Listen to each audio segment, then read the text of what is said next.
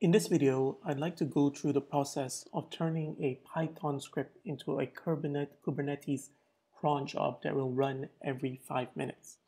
Um, a cron job in Kubernetes uh, is very similar to a Unix cron job, with the exception that in Kubernetes, the cron job executes Docker images rather than Unix executables. So first off, let's have a look at the Python script that we want to execute.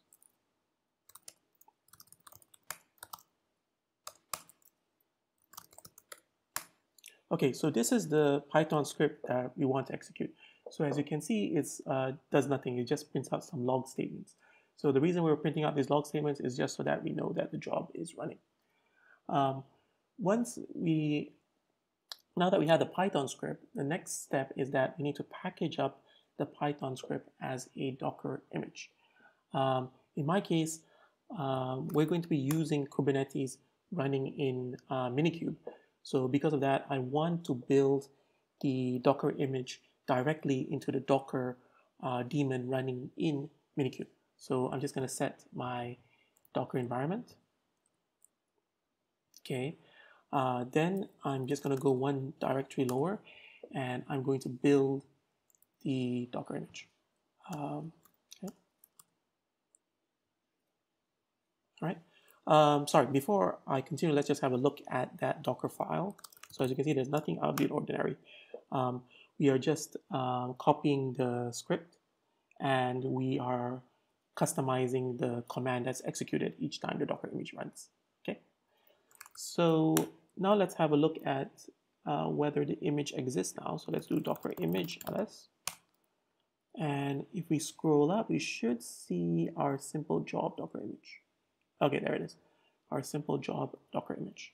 Okay, so just to make sure that everything's working, let's run that Docker image. Uh, Docker run um, it rm simple job latest.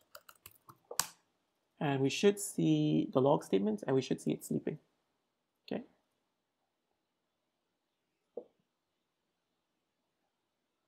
All right, let's just wait because it's going to sleep for 30 seconds. So let's just wait a few seconds. And we should see the second um, log statement, the third log statement, I mean.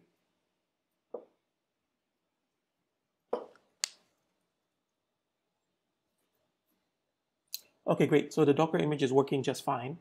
Um, now that we have that Docker image, now we can go into the Kubernetes side of things. So um, with Kubernetes, I always forget the syntax of the YAML files. Um, so what I usually do as a shortcut is I use kube control create to create a template of the YAML file, and then I modify the uh, YAML file accordingly, and then I will apply the YAML file. So let's start by creating the template uh, YAML, and the way we do this is by doing kube control, uh, create cron job. Uh, let's call the cron job simple job and we specify the image which is simple job. And we also specify the schedule. And we want it to run every five minutes. So let's specify star five. So that means that it will run every five minutes. And the hour of the day uh, the day of the month the day of the week um, and the other options they don't matter. Okay? Because we are, we're only concerned that it runs every five minutes. Okay then we specify that we want it to dry run and not apply on the server immediately. So we specify dry run client. Okay. So when we press enter, we should see the YAML being generated. Oh, sorry. I didn't specify the output as YAML. So let's do O YAML. Okay, so as you can see, it it outputted this uh, YAML to a the standard output but we want to edit it. So let's output it to the um, to a file. Let's redirect it to a file. So let's call it job.yaml. Okay. Okay, so now let's have a look at job.yaml. Um, okay, so I just need to make one change, which is to specify the image pull policy. Um, I'm just going to set the image pull policy to if not present. And the reason I'm doing this is just because I'm using the Docker daemon in the um, the Docker daemon in the uh, Minikube installation. Um, so there's actually no Docker repository. So I don't want it to attempt to fetch uh, because it's already available locally. Okay. Okay, now that we have the job YAML file, we can apply it. So let's do kubectl uh, apply dash f job YAML. Okay. So see whether that worked or not. We can do kube control get cron jobs. And there, as you can see, we have the cron job. Okay. Um, what we need to do now is we need to um, what we need to do now is uh, we need to wait for the job to run.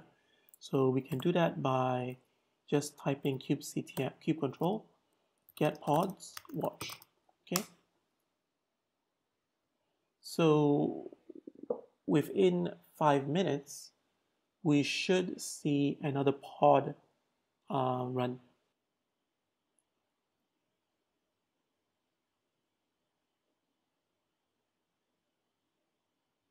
Okay, so as you can see, the pod is now running. Um, let's have a look at pods. And there, it's in the running state. Okay. So it runs for 30 seconds because inside the Python script, we had a, um, a line where we sleep for 30 seconds. So let's have a look. And there. So after around 30 seconds, it completes. Okay.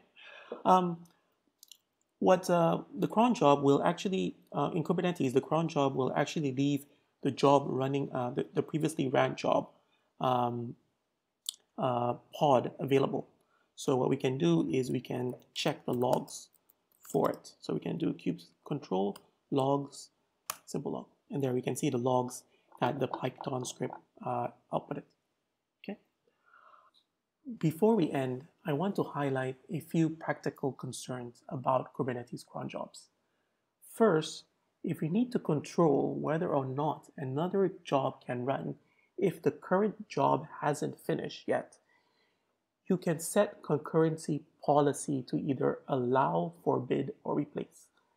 The default is allow, which means that if the current job hasn't finished yet and it's already time to run the next job, Kubernetes will allow that. Okay? If you do not want this behavior, you can set it to forbid. Second, if you want to control how many job executions are present at any point, you can set the options successful job history limit and failed jobs history limit. This is useful if you need to be able to view the logs of previously ran jobs. And third, and this is one of the most important points, if you specify, if you want to schedule the jobs to run at a specific time of the day, make sure that you specify the time in the UTC time zone. Um, when I was first using Kubernetes cron jobs, I thought it would follow the time zone of the master node, and I was burnt by this issue. Um, I wanted my job to run at 4 a.m. in the morning, and it was instead running uh, in the afternoon.